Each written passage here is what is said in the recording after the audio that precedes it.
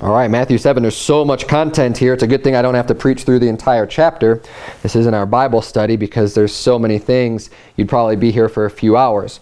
But um, we're going to be discussing a topic that I've actually preached on a couple times in the past, but I want to um, dedicate an entire sermon to just this subject of, of bearing fruit and salvation.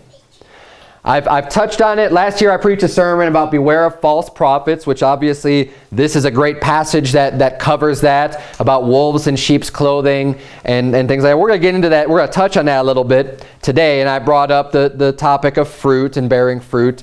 And um, by the fruits you shall know them. And there's another sermon I preached a little while ago too that kind of brought up the same subject. But there's enough information, there's enough scripture to dedicate completely just one entire sermon to it. And there's a very common teaching that I've heard, you know, that, that many people believe. And that's if you can tell if someone is saved based on their lifestyle. And I don't believe that to be true. Now, you may get some kind of indications or some warnings, but what I'm referring to here is people will say, well, you know, look at that, that drunkard. There's no way that person could be saved because he's drinking alcohol. If he was saved, he wouldn't be drinking anymore. He would have kicked that by now. And that's a false doctrine. That is not true at all. The Bible says that, you know, there's one way to be saved, and that's through faith in Jesus Christ. And just because someone commits a sin or continues in sin, after they've received Christ as their Savior, after they put their faith in Christ, does not mean that they are not saved anymore. But in like when people try to defend this way of thinking, defend this argument, obviously they have some kind of Bible to go back to. And what they always go back to without fail is, well, what about their fruits? The Bible says, by the fruits you shall know them. By the fruits you shall know. And this is what people always will quote. And we're going to go and see that. That's why we started off here in Matthew chapter 7. Because and look down if you would at, at verse number 13 because the interesting thing about salvation is that even though it truly is easy to get saved as we know it requires no effort on our part. It's not our works. It's not our obedience to the law. It really is easy. It's as simple as, re as receiving a free gift. It doesn't require the drunkard to give up drinking. It doesn't require the, the druggie to give up using drugs. You know it doesn't require the fornicator to stop fornicating in order to get saved those things are not a requirement for our salvation. But even though it is very simple, it's just as simple as receiving that free gift, the Bible tells us that most people will still end up going to hell and most people still do not receive that gift. Look at verse number 13 in Matthew 7 where we started. Enter ye in at the strait gate. Strait there just means narrow. It doesn't mean not crooked. That would be if there was a GH in there. The word straight, S-T-R-A-I-G-H-T, that means like a straight line where it's not curving to the left or to the right. But here it says that strait gate, S-T-R-A-I-T, that just simply means narrow. It means narrow. He says, enter at the strait gate, for wide is the gate, and broad is the way that leadeth to destruction, and many there be which go in thereat. There's lots of ways to go to hell. Basically, it's anything, you know, all kinds of sin, all kinds of false religions. You're following all these different things. They all will lead to hell. There's many ways that'll lead you there. But there's one way that leads to heaven. And that's why it's narrow. That's why it's strait. It's not because it's difficult, like the modern versions will try to tell you. They'll, they'll corrupt God's word and say that difficult is the way instead of narrow is the way. Because it's not difficult to receive a gift, but you have to receive that one gift. It has to be just through Christ. It has to just be by your faith. That's why it's narrow. There's not multiple ways to heaven. There's just one. Jesus Christ said, I am the way, the truth, and the life. If there's many ways, like there is for destruction, I mean, that would be wide, that would be broad. The way to destruction is many ways, but Jesus Christ is one way. Salvation is one way. And that's what it says in verse 14, because strait is the gate and narrow is the way which leadeth unto life, and few there be that find it. The Bible says there's many that, that go to destruction, and there's few that find salvation. This almost sounds counterintuitive because you think that, well, salvation's a free gift. I mean, it's just as simple as putting your faith in Christ. It's just as simple as receiving that gift. Why would there be few that, that are saved? Well, anyone who's gone out soul winning kind of understands that because people have free will and they choose to believe in other things. They've been influenced by the devil. They've been influenced by their own sin. They've been influenced by their own pride. They want to think that, no, no, no, it can't be that easy. I have to do something. I have to have more of a part in my salvation than simply just humbling myself to receive a gift. There's lots of reasons why people don't accept it even though it may be counterintuitive because the, the best news in the world, excuse me, that you can ever receive is that, hey, here you go. I want you to be saved. You just take this and you're saved. That's it. Saved forever. Eternal life. You have it. That's the best news you could ever receive in your life. I don't know. I mean, I can't think of anything better than just receiving a free gift to go to heaven. Amen. It couldn't get any easier. And um, yet, there's still a lot of people. The Bible says there's few that find it. Now, it's not few because they weren't willing to clean up their life. It's not few because they say, well, I've heard about Jesus, and I heard uh, you know, he paid for all my sins on the cross, but I just don't want to give up my drinking. Therefore, you know, because people have that mindset, I don't want to, I don't want to quit my sin. That's why there's few that find it. That's not true. It's simply because they didn't receive Christ as their Savior. It has nothing to do with them cleaning up their life and, and living a righteous life in order to get saved. Now let's dig in by understanding what fruit is from Scripture. Okay? Um, it has to be taken in context, first of all. Look at like anything. Anything you look in the Bible, obviously has to be taken in context. When we're looking at fruits in the Bible, context is important because just that word fruit doesn't al isn't always referring to the same exact thing every time it's used. Okay? But um, in regards to knowing people by their fruits, that context is the same because that only, only occurs you know, a, a lot less often than just the word fruit does in the Bible. Look at verse number 15. It says, Beware of false prophets, which come to you in sheep's clothing, but inwardly they are ravening wolves. So he's giving them a warning, right? Beware. There are people that are false prophets. People are going to try to deceive you. There's people out there that it says on the outside, hey, it looks like they're wearing sheep's clothing, right? The Bible um, refers to believers as sheep, right? We're, we're sheep. Christ is the great shepherd. We're his sheep. And there's going to be some people that are going to come to you and they're going to look like a sheep. And this is one of the reasons which is why I don't believe that you can just look at a person and how they're living on the outside to know for sure if they're saved. Because these people on the outside, they look good because they look like a sheep. It says, but inwardly, on the inside, they're ravening wolves.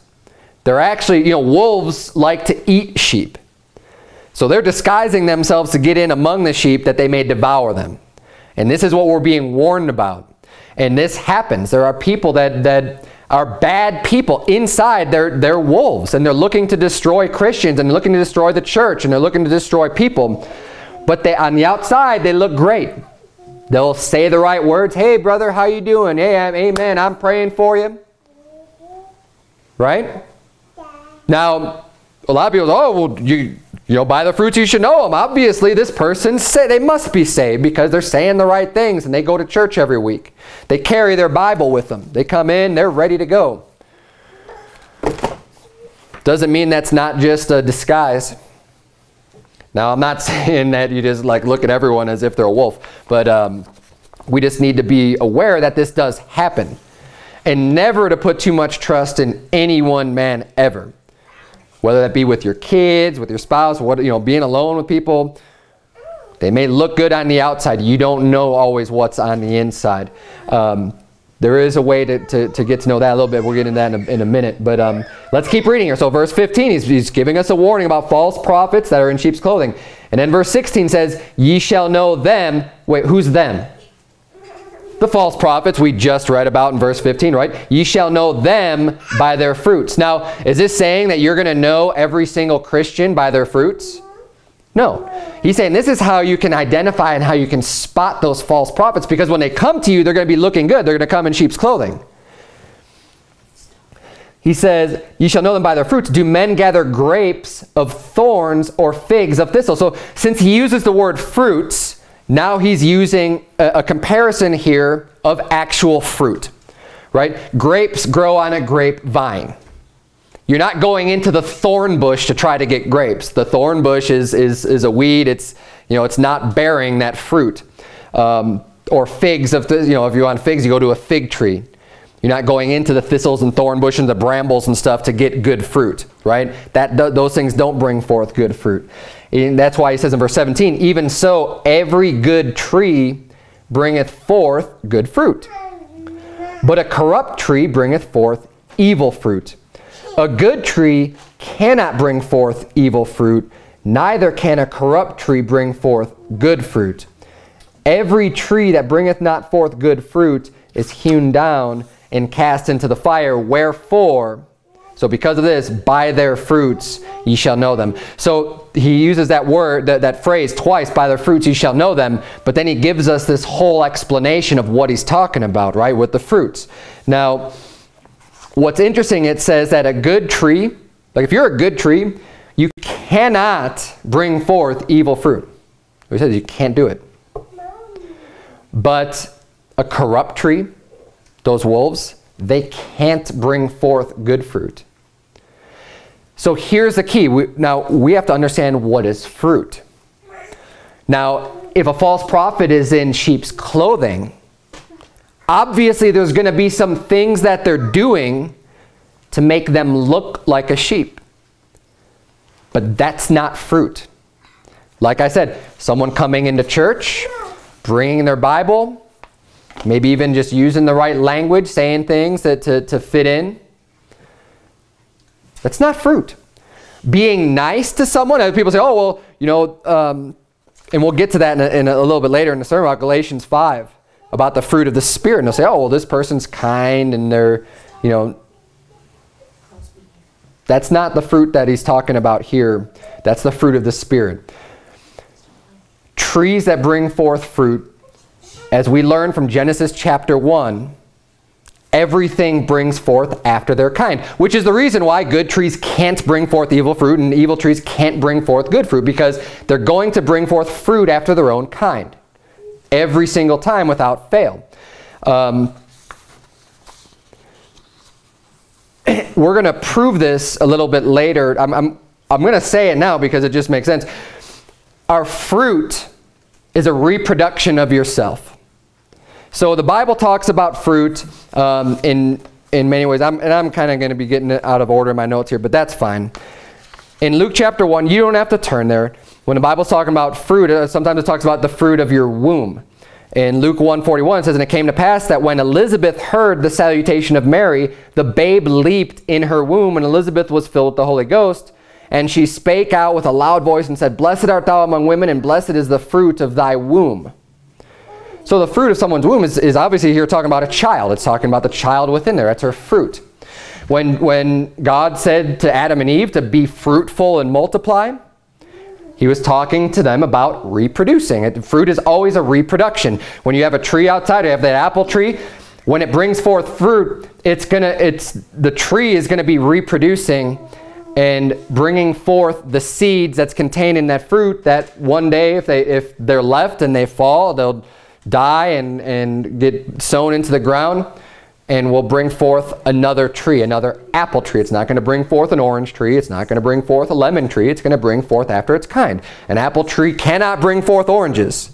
Neither can an orange tree bring forth apples, right? It's another way of saying it. They bring forth after their own kind. So when you have an evil tree, a bad, wicked person, a reprobate, a false prophet, and I'm not going to get too much into it. We've covered this in previous sermons about how wicked and reprobate false prophets are. And you could, I'm going to probably have referenced Jude and, and uh, 2 Peter 2. I've got one of those here referenced real slightly. But you read those two chapters. Those are both giving us warnings about false prophets and how wicked and evil and bad they are, that they're children of the devil. When someone gets to the point to where they're a child of the devil, they can't be saved. They're already born into that family. They become that child. The same way that when we're born into God's family, we become a child of God. We're always his children. We can never become a child of the devil because we already have a father. We've already been begotten again, where we're spiritually born again. But if someone becomes spiritually born of the devil, that's where they are. They're damned. Their fate is sealed.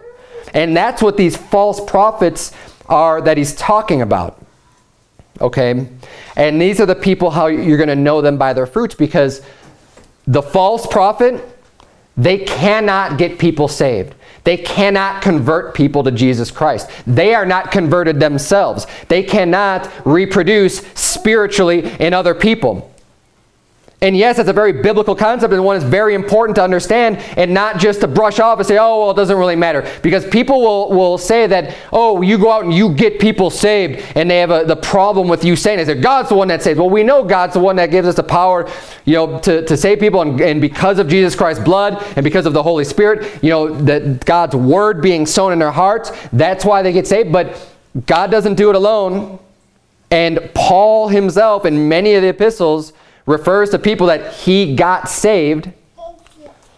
And that's why it says, on some have compassion, make a difference, on others save with fear. Pulling them out of the fire, even hating the, the garment spotted by the flesh. He's saying to save them. And he's not talking about a, lit, a, a, a, physical fire like your house is on fire to save them out of their house. He's talking about their soul, their spirit.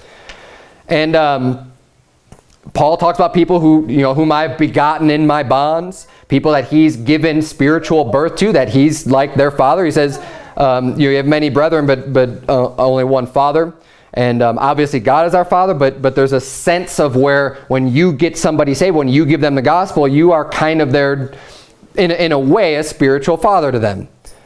Not the spiritual father, not like God the Father, so don't, don't mistake me there, but um, you know, getting someone saved, these are all biblical words and concepts and that that is the way that it is according to the Bible that we do go out and get people saved and why that's important to, under, to know that is because the false prophet can't go out and get somebody saved. They don't have the Holy Spirit. They're not going to be walking in God's will. They're wolves on the inside. God knows their hearts.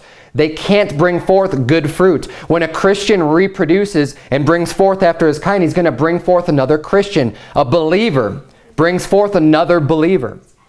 And that's why we go out and preach the gospel to people. We're already believers. We believe this book is fact. We're trying to show people and persuade them that they can receive that free gift, that they could receive the seed that's being sown, and that it could take root in their heart, and they can become a believer also. The false prophet can't do that. So one way, if you want to identify false prophets, it's his fruit, is he getting people saved? Talk to his, his, his quote-unquote converts because the, the false prophet is going to be making people twofold fold more the child of hell than themselves. According to the Bible, they're going to be getting people, you know, converted, but it's not going to be to the Lord Jesus Christ. And one of the be best ways, turn if you would to Matthew 12, because this leads right into my next point anyways. Matthew 12, we're going to start reading in verse number 30, because here's another reference to knowing a tree by his fruit. Verse number 30 says, He that is not with me is against me, and he that gathereth not with me scattereth abroad. Wherefore I say unto you, all manner of sin and blasphemy shall be given shall be forgiven unto men, but the blasphemy against the Holy Ghost shall not be forgiven unto men. And whosoever speaketh the word against the Son of Man, it shall be forgiven him. But whosoever speaketh against the Holy Ghost, it shall not be forgiven him, neither in this world, neither in the world to come. Either make the tree good, and his fruit good, or else make the tree corrupt, and his fruit corrupt. The tree is known by his fruit. Now, I'm going to pause right here real quick because this is important. I read I started at verse 30 for a reason. I could have started at verse 33 about the trees. But he's talking about that the unforgivable sin of blaspheming the Holy Ghost. Right? This is a sin that someone could commit where they become reprobate, where they become rejected. He says, you know what? If you do this, if you blaspheme the Holy Ghost, you have never forgiveness. That's why he follows that up with, well, either make the tree good and the fruit good, or the tree corrupt and the fruit corrupt. Because once you cross that line and become reprobate and become rejected, you're not going to be a good tree. All that's left for you is an evil tree. Now, it's also important that's, that it, he's talking about trees, right? As we mentioned, I've mentioned this in the past, not every fruit, not every, every fruit that's produced by a tree becomes another tree. A tree is something that actually is bringing forth, right? So think about this now. Anyone who's, who's out there, any Christian that's winning souls, who's converting people, making other believers, they could be considered a tree because they are bringing forth after their own kind. They're reproducing. They're being fruitful. However, someone who's not doing that, who's not bringing forth after their own kind, maybe eh, there's two ways to think about this. You could say, well, there's someone else's fruit because someone else got them saved right? They're the fruit, they're the result of someone else, but they haven't become a tree yet to reproduce after their own kind. So they're either they're either still just that fruit that hasn't become a tree, or they're a tree that's not producing any fruit. Which there are trees like we you know we have an apple tree out there it's not producing fruit. You know sometimes it flowers. You know if it's not pollinated, all the other things aren't happening to it, it won't ever produce fruit. But it's still an apple tree. But you won't know what kind of tree that is until it does bring forth fruit. So there's a lot of people out there, they're not bringing forth any kind of fruit at all. So how do you know what kind of tree it is? You don't. That's why you can't always know whether or not a person is saved. You could know whether a prophet is a false prophet that was the context that we first saw in Matthew 7. He's talking about false prophets and identifying them. But this isn't talking about identifying your average Christian. By, your, by their fruits you shall know them. So let's keep reading here in Matthew 12. We were at Matthew uh, 12, verse 33. Let's look at verse number 34. He says, O generation of vipers, how can ye, being evil, speak good things? For out of the abundance of the heart the mouth speaketh. And this is one of the keys also for identifying someone um, of what they believe. This is the way that I use to determine whether or not somebody's saved. Because out of the abundance of your heart, your mouth is going to speak. Your heart's on the inside. So if you have that false prophet who's a ravening wolf on the inside, he may be able to, to fool people sometimes and say the right thing sometimes, but out of the abundance of his heart, his mouth is going to speak. He's, you know, he's, you give him enough time to talk and it'll come out. He'll expose himself because what's in his heart is wicked. And even just people in general, not just the false prophet, but when I go and talk to someone, hey, what makes a person saved? Whether or not their faith is in Christ to save them. How am I going to find that out? You ask. That's what we do all the time with God's soul winning. Hey, do you know for sure you're going to heaven when you die? If you die today, are you going to heaven? Do you know that for sure? And they'll either say yes or no. If they say yeah, well, well why? Why do you think you're going to heaven? Well, they're going to tell you. I, I mean, unless they want to lie and deceive you for some strange reason, well then okay, then maybe I'll get it wrong if somebody just purposely wants to lie and tell me that they believe and they don't really believe. But I'll ask them, and, and most of the time, as far as I could tell, people are pretty honest. They'll say, you know, either they're trusting in their works, they're trusting in being a good person, they're trusting in not having done anything that bad, or, or you know, they're, they're Christian, they believe in Christ, but, you know, they believe you have to be baptized. They'll tell you these things. And the reason why I'll tell you is because you follow up with the next question. Say, you know, if, if someone tells me, say, well, I, you know, I believe in Christ, which is the right answer, I'll say, is that all you have to do? Now they have an opportunity, if there's something else they're trusting in, to tell me. Well, no, no, no. I mean, you have to live the right way. That's what some people will say then. Well, they've just, they've just expressed what they believe. It's not the correct belief. This is how you can know what people believe and what they're all about. Out of the abundance of the heart the mouth speaketh. Verse number 35. A good man out of the good treasure of the heart bringeth forth good things. And an evil man out of the evil treasure bringeth forth evil things. But I say unto you that every idle word that men shall speak, they shall give account thereof in the day of judgment. For by thy words thou shalt be justified, and by thy words thou shalt be condemned. Words are very important in, in understanding whether or not a person's saved, way more than just are they, are they drinking? Are they committing this sin? Are they committing that sin? That's not going to tell you whether or not a person's saved. Now, if you see someone or if you know someone and, and they are living just this life of habitual sin, you should talk to them. Because either way, they need help. They need to be getting got right back on the right path. If, if someone has a testimony of salvation, yet they're living in, in, in wickedness and sin and living a life of debauchery, hey, you, need, you ought to talk to them anyways because they need to get right with God.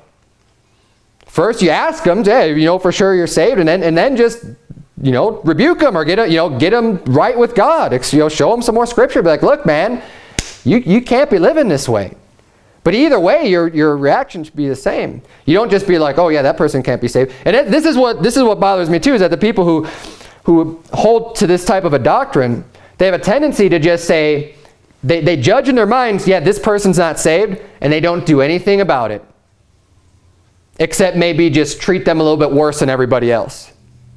Instead of thinking, hey, I don't think this person is saved, why don't I just go and give them the gospel then because I don't think that they're saved?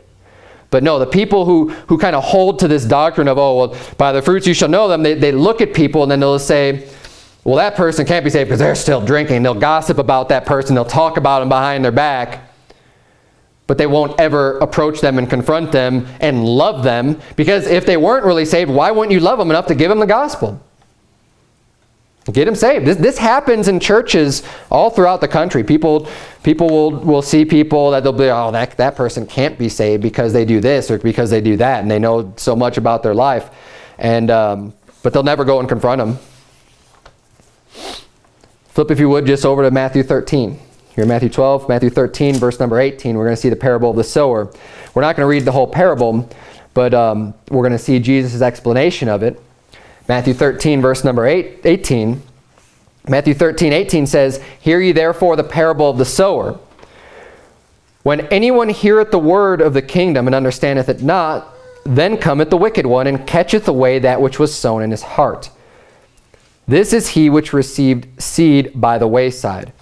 So I was explaining it and saying very right off the bat, and you could get, we're not going to go through all the parables, but um, the seed is the word of God. And the sower is, is, is preaching the word of God. And, you know, the word of God gets, gets preached to this person. So the seed is trying to get sown in their heart. But this very first example, you know, the devil comes and he takes it away. Because they didn't, they didn't receive it. They heard it. The seed is trying to be, you know, the seed is getting thrown out there. Someone's preaching the gospel. Someone's preaching the word of God. It's, it's going out but it hasn't been received. So they hear it, but then what the devil's going to do, he's going to come by and he's going to take it so that they just forget all about it and then just continue along with their life. That's the seed which is sown by the wayside. Verse number 20, it says, But he that received the seed into stony places, the same as he that heareth the word and anon with joy receiveth it. All we have to do to be saved is receive the word. Jesus Christ is the word. You receive him, you're saved. That seed takes root in your heart, you're saved. You become a new creature. There's a new life. When that, that seed is, is conceived in your heart, that brings forth a new life. It says, but in verse 21, yet hath he not root in himself, but doeth for a while. For when tribulation or persecution ariseth because of the world, by and by he is offended. He also that received seed among the thorns is he that heareth the word, and the care of this world and the deceitfulness of riches choke the world, the word, excuse me, and he becometh unfruitful. So this example is real interesting too because it says that he becometh unfruitful. Now in order to become unfruitful, I would think that you were fruitful before. Right? So there's people who they've received the word, they've brought forth fruit, but because of the riches of this world, because of the cares of this world, you know, things happen, you get distracted, and you get deceived by this world. And, and I've seen this happen too. People who are soul winners, they go out, they're dedicated, they're serving God, they're in church. And then, you know, they're winning souls. They get a job offer somewhere else. And it's a lot of money. And because it's such a great opportunity, they take that job offer, they move away, and guess what? There's no good church in their area. So they've moved away from a good church. Well, they're making all this money now, and it's the cares of this world and everything else that they're, that they're receiving has kind of choked the word. And they become unfruitful. And they stop going out and win winning souls. And they stop doing all these things because they've gotten out of the good church. And now they're more focused on their job and making money and things like that. This happens. Because that happens to someone, it doesn't mean, oh, well, they were never saved to begin with. No, they just became unfruitful. Verse 23 says, But he that receives seed into the good ground is he that heareth the word and understandeth it, which also beareth fruit and bringeth forth, some an hundredfold, some sixty, some thirty. Now, this is interesting too because he's placing a quantity to the fruit that's being brought forth.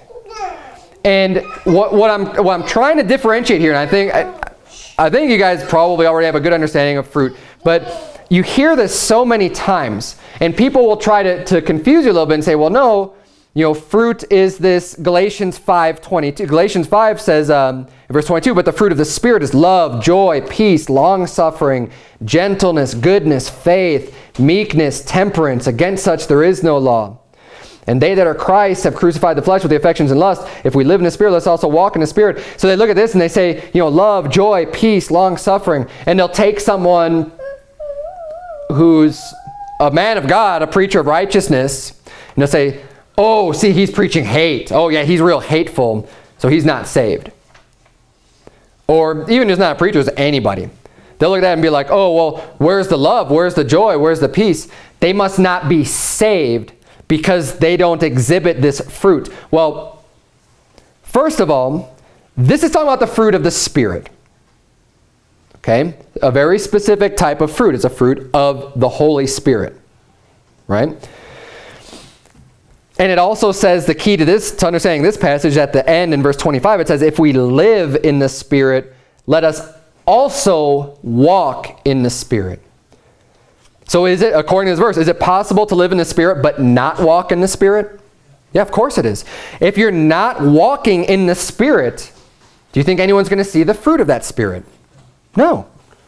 Does that mean you don't have the Spirit at all? No, you still have the Spirit, but you also still have the flesh. So when you're walking in the flesh, you're going to see the fruit of the flesh. When you're walking in the Spirit, you'll see the fruit of the Spirit. But it's possible to have one, to, to, to have the Spirit and not walk in the Spirit. So you can't look at the fruit of the Spirit and be like, well, that person isn't saved because I don't see this stuff right now. It could just mean they're walking in the flesh. But the other thing is this. Now, we see this fruit in Matthew 13 with the parable of the sower, and he's talking about bringing forth 30, 60, 100. How could that fruit be the same fruit as Galatians 5, the fruit of the Spirit? How do you have 50 love, 100 joy, 60 peace? It doesn't make any sense. Obviously, the fruit that it's referring to in these two passages are different, but this is what the people, they don't understand this, and, and, and they've been taught a certain way or whatever, and, and they'll try to just say, well, no, no, the Bible says, and they'll, and they'll, they'll quote these random, you know, you'll know them by their fruits and things like that, and, and well, the fruit is, uh, is joy and peace, and, you know, and they'll start mentioning Galatians 5. These passages are talking about two different things. Now, Matthew 13 makes perfect sense about bringing forth fruit if you're actually converting people, winning them to Christ. Hey, you could win 30 people, you could win 60 people, you could win 100 people to the Lord. You can do that. You can bring forth that type of, of fruit in reproducing yourself and somebody else. That absolutely makes perfect sense here. The love, the joy, the peace, the long suffering. Look, that's the fruit of the Spirit. That's not the same fruit that we're talking about in Matthew 13. This is why it's so important to read everything in context and, and to start thinking about and analyzing, well, what, what makes sense here?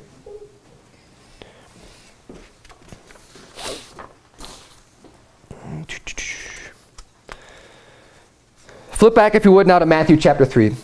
Matthew chapter 3. We spent a lot of time in Matthew. Matthew 3 because this is the other place that people will go to that want to see this evidence of, of your salvation. And I want to clarify as well because I'm not saying that when a person gets saved, you won't see any of this evidence that people are looking for in salvation. I'm not saying that doesn't happen. I'm not saying that a person won't start to get rid of the sin in their life. I'm not saying they won't start to go to church and won't try to serve God and won't start to do these good things. Because when you get saved, you do have that new creature, that new man that wants to do well. And that will change you and guide you and, and help you to grow and stuff. But all I'm trying to expose here and what I'm trying to say is that you can't you, you can't say 100% of the time with everybody that that's always going to happen where you will see an outward manifestation of them walking in the spirit and doing good things and trying to serve God. They can have that spirit and not walk in that spirit. And if they're not walking in the spirit, they won't produce any type of evidence. You need to be walking in the spirit to be able to, to win someone else to Christ and bear fruit that way. Without the spirit of God, it's you're hopeless. It's, there's no way that you can you can do anything um, to bring forth fruit. So if you're not walking in the Spirit, you're not going to be reproducing after your own kind either. You're not going to be bringing forth anything. Now you're not going. It doesn't mean you're going to be bringing forth evil fruit. You're just not going to be bringing forth any fruit. Uh, Matthew 3. So this is this is the other place that they like to turn to. Matthew 3, verse number 7. We're talking about this is where John the Baptist is baptizing people, right? Right before Jesus Christ comes on the scene. They'll, they'll, they'll turn to what John the Baptist says. Matthew 3 7 says, But when he saw many of the Pharisees and Sadducees come to his baptism, he said unto them, O generation of vipers, who hath warned you to flee from the wrath to come? Bring forth therefore fruits meet for repentance. And think not to say within yourselves, We have Abraham to our father. For I say unto you that God is able of these stones to raise up children unto Abraham. So they say, oh yeah, well why, then, then why in the world did John the Baptist say, bring forth fruits meet for repentance? Why would he say that? If we can't tell people by their fruits, well, again, in context, and this is what I'm saying, when it's talking about um, bringing forth fruit in this context, it's always the same. Or knowing people by their fruits, excuse me, knowing people by their fruits is always in the same context. He's talking to specific people here. It's not just anybody. He's talking to the Pharisees and to the Sadducees, which were false prophets of the time. They did not believe in Christ. They taught another religion. They were false prophets. Okay? We saw in Matthew chapter 7, we saw in Matthew chapter 12, you're going to know the false prophet by their fruits. So John the Baptist is looking at them and saying, he's baptizing people. Now, now do we just baptize anybody who wants to be baptized? Is it just like, hey, I want to get baptized. Come on in and get baptized. No. There's a requirement for, for getting baptized, and that is very simple. It's if you believe on the Lord Jesus Christ with all of your heart, you may. We'll baptize anyone that believes on the Lord Jesus Christ with all their heart. If they're trusting on Christ for salvation, if they're saved, they get baptized. So is John the Baptist just going to baptize anybody? Is he, if the Pharisees and the Sadducees come and say, well, come on down, I'll baptize you. No. They have to believe first. Now, in order for them to believe, they have to repent. They're not going to continue to be a Pharisee or a Sadducee if they're putting their faith in Christ to save them because that's a false religion, it's a false doctrine. Look at the Apostle Paul. He was a Pharisee, but he got saved. He rejected the false works-based salvation religion and accepted Christ. He brought forth fruits meet for repentance because he changed what he believed. He's no longer a Pharisee. It's the same way when people get saved. If they're truly saved, you're not going to cling to your false works-based religion. You're just not. You're not going to be like, you, you can't. You can't. I'm going to say, not that you're not, you can't. It's impossible to say, well, I've accept, I, I believe completely in Jesus Christ for salvation, but I also think you have to, you know, I'm still going to stay with the Catholic Church because I still think you have to get baptized, and I still think you have to take communion, I still think you have to, then you didn't really put all of your faith in Christ. You see what I'm saying? Like, like you, you, can't, you can't do the both. Now, if someone just attends a Catholic church because their family goes there, that's not what I'm talking about. I'm not saying that person can't be saved, but in their heart and in their mind, they have to have rejected that religion, that, that way of salvation. And so what he's talking about here, he's talking to Pharisees and Sadducees, you need to bring forth fruit meet for repentance. You need, I need to understand that you, I mean, you reject being a Pharisee and a Sadducee in order to get baptized. And now again, we're going to see here in verse number 10, and now also the axe is laid unto the root of the trees. Therefore every tree which bringeth not forth good fruit is hewn down and cast into the fire. Same reference that we saw in Matthew 7 and Matthew chapter 12. These are all talking about the same thing. In context, in Scripture, They all use the same language. They're all talking about trees. They're all talking about false prophets. This is not a measure for every individual Christian. It's a measure for the false prophet.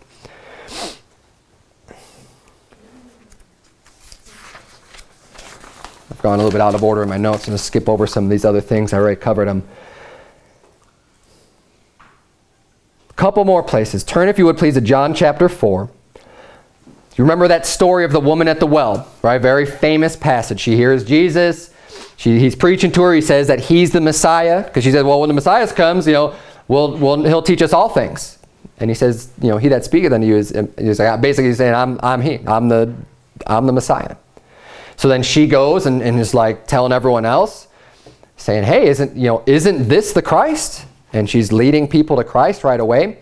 Um, verse number 34 says, John 4:34, Jesus saith unto them, My meat is to do the will of him that sent me, and to finish his work. Say not ye, there are yet four months, and then cometh harvest? Behold, I say unto you, Lift up your eyes and look on the fields, for they are white already to harvest. And he that reapeth receiveth wages, and gathereth fruit unto life eternal, that both he that soweth and he that reapeth may rejoice together. And herein is that saying true, one soweth and another reapeth. I sent you to reap that whereon ye bestowed no labor. Other men labored, and ye are entered into their labors. This is that, that passage in John chapter 4. And his disciples came back, and he's saying that, that you know, they're asking him, whatever, if he was hungry, and he's, you know, he said that he, he has meat to eat that they don't know of. And um, he explains what that is. My meat is to do the will of him, to do God's will. And verse 36, he says, And he that reapeth receiveth wages, and gathereth fruit unto life eternal. Now, this passage, verse 35, when it says, Lift up your eyes and look on the fields, for they are white already to harvest. He's, uh, he's, this is a passage that's commonly taught about soul winning. It's commonly you know, the, the fields are white unto harvest. You hear this so many times in soul winning sermons. And it's completely accurate because that's what he's talking about here. He's referring to people as being the harvest, as being, hey, look, we need to go and reap. We need to go and, you know, and the people are primed, they're ready. John the Baptist prepared the way for the Lord. You know, people have been hearing about God. They've been hearing God's word. Now the time is ready. The time is ripe. We need to send these laborers out and get these people saved because there hasn't been a better time to get them saved than right now. And that's what he's saying. He's like, it's harvest time. Let's go get them. And what are they doing? Verse 36, and he that reapeth receiveth wages and gathereth fruit. They're bringing forth fruit. They're bringing in that fruit unto life eternal. This is what that bringing forth fruit means. And this is, this is what we need to be bringing forth in our life.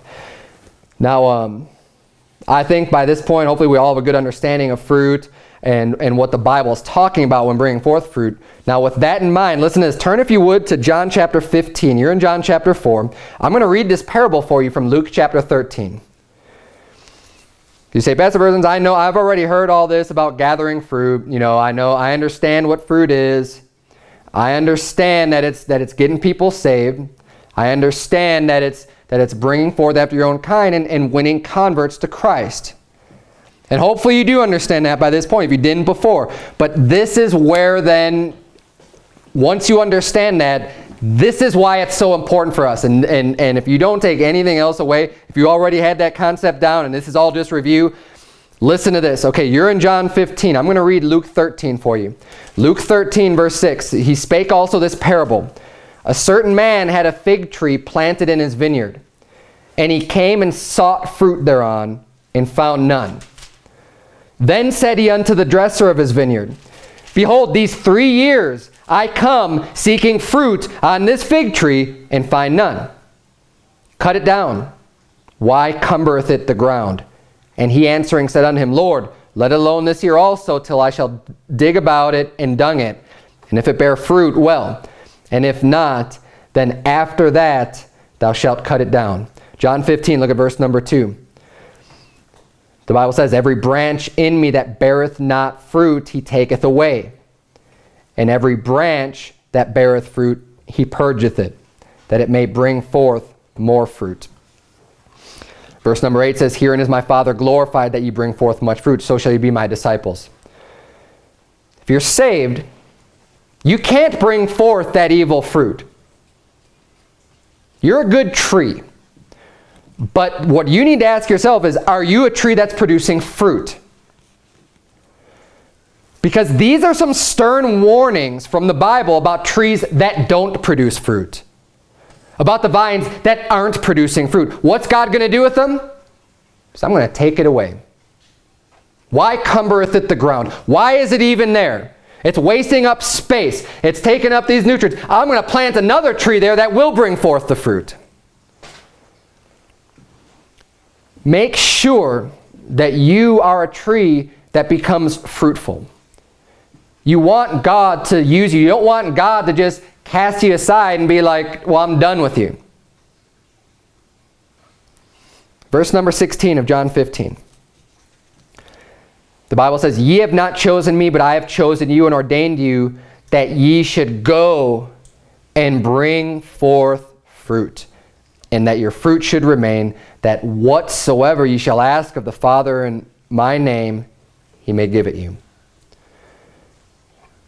God wants you. This is, this is your job. You need to go out and bring forth fruit. And look at yourself today. Are you bringing forth fruit? Are you bringing people to Christ?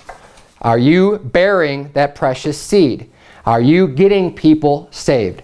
Because if you're not, you know, God gives you time. We saw that in another parable. He says, you know, these three years, I came up to this tree and I was looking for fruit and I didn't find any. Three years I've been looking for it. You know, there's, there's time to grow. There's time to grow from that seedling into a tree that's even capable of producing fruit. God understands this and God knows this. But don't be the tree that grows and never brings forth fruit.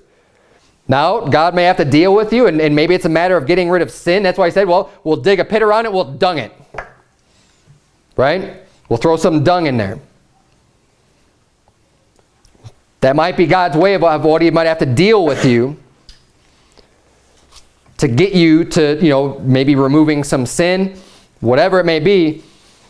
But he says, this is our last effort. I'm going to I'm gonna put forth some effort at this, and after that, we're just going to get rid of it.